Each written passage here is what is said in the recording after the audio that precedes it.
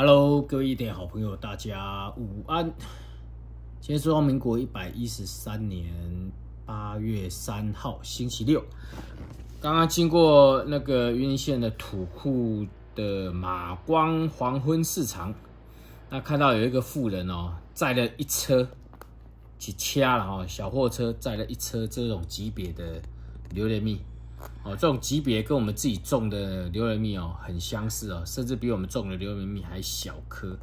那好奇之下哦，停下来跟他买了一颗，摸起来还蛮重的。这个重量里面应该有果包，但是照我的经验观察下来，果包在这一侧，还有尾部。那这一侧应该是没有果包。那我为什么买要买呢？因为今年我们的榴莲蜜呢？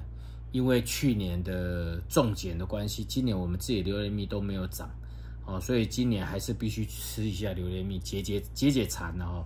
那我问他说这哪里种？他说是六龟，哦，六龟再到这边来似乎有点远啊。不过整车都是这种级别的啦，所以这个应该也是呃他们打下来的，然后有一些呃小贩呢去跟他们整批采购下来。哦，不然正常这种级别的榴莲蜜应该不会拿出来卖哦。那好，我就开看看，开果看看了。毕竟我们今年还没有吃到榴莲蜜。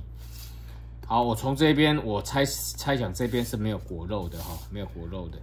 呃，现在是几点？现在快将近四点了哈。如果住在附近，我等下打开哦。如果住在附近的哦，我吃完之后如果觉得不错的话，你如果要买的话，应该它还在那边呢哈，应该还在那边。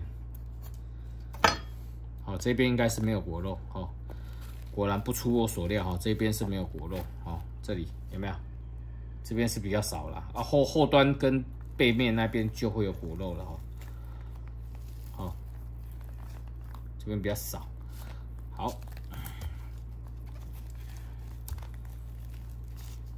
香气是有的，那果包比较小，果包比较小，那香气是有的哈。好。整个拿起来，好，这个就是榴莲蜜哦。果包真的是这边比较少哦，这边比较多。好，那这果包小了一点，吃看看，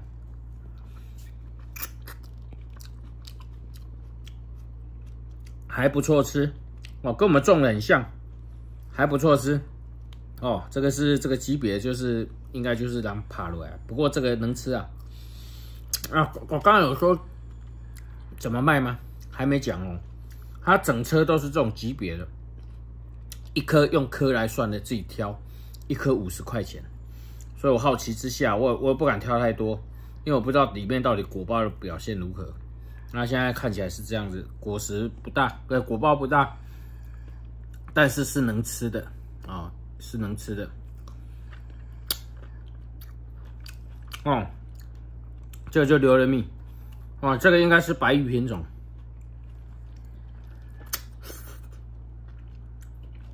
还不错吃的啊，跟我们种的几乎口感是一样哦。我们自己种的应该是明年才才有办法再再生产，然后今年没有哈，所以买一颗来解解馋。嗯，还行，五十块钱啊，解解馋这样行啊，OK 的。嗯，好，那剩下这些呢，等小孩子。补习完回来呢，再给他吃，我们就等一下放在冰箱里面。OK，这在云林县土库镇马光的黄昏市场有一个富人呢，在一小小货车出来卖的哈，有兴趣的可以去看一下。好，我们下次见喽，拜拜。